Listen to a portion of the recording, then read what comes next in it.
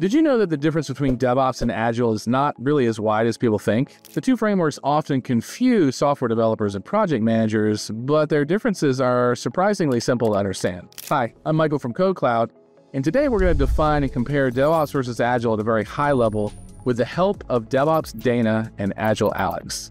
So by the end of this video, not only will you know what each term means, but you also learn exactly how they can work together. I'll also share a bonus tip that will help you succeed, so keep watching. Okay, so meet Agile Alex and DevOps Dana.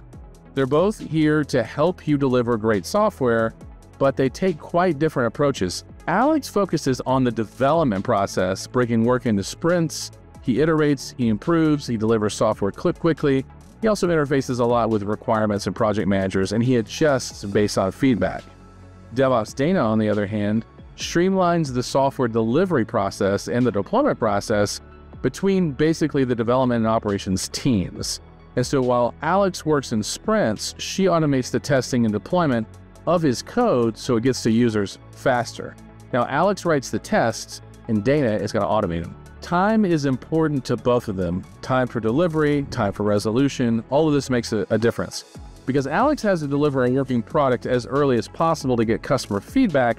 And of course, Dana, she's got to reduce the time between the commit and writing of code and the deploy it so that Alex can get his feedback quicker, right? Even if it doesn't go into production, he's got to be able to provide something back to his customer by getting feedback either through user acceptance testing or better yet into production, right? And so it's Dana's job to automate and deploy that. Agile uses short development cycles called sprints, which are typically one to three weeks, while DevOps focuses on automating pretty much everything that can be automated. And they use practices like CI CD, infrastructure as code, to create automated repeatability. Now, in Alex's team, various roles work together to complete a sprint, while Dana encourages collaboration between traditional teams like developments, operations, and security. Seem pretty different, but when you take a closer look, you see some similarities. For example, DevOps is all about continuous improvement and feedback loops, and Agile is also big on continuous feedback as well. Plus, both frameworks emphasize collaboration. And you know, you could argue that DevOps actually fits inside of Agile because DevOps is concerned with the last mile of repo to production delivery, Whereas Agile basically has the whole thing, but particularly the pieces around how to design, build, code, test software. That whole piece, the whole design, getting the right requirements, building the software, that's incredibly important. Delivering a minimal viable product, which is also part of DevOps thinking as well. So to show you how they could work together, right? Imagine an organization that needs to release a new feature quickly and ensure that this feature works well in production. This is for like maybe an existing mobile app for, let's say, online shopping. And in such an organization, you might need Dana to automate the tests that Alex has written and automate the deployment of the code that Alex has written.